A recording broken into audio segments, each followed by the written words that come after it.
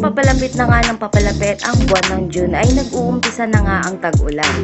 Karamihan nga ay gusto ang panahon na ito dahil sa lim dahil sa lamig ng panahon at sa chill vibe na dala na ito.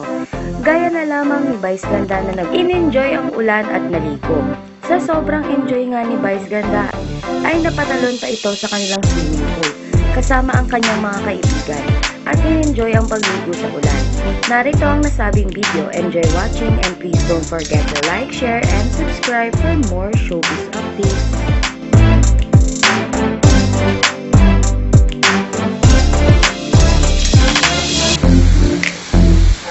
Ano ba sarap ang sili?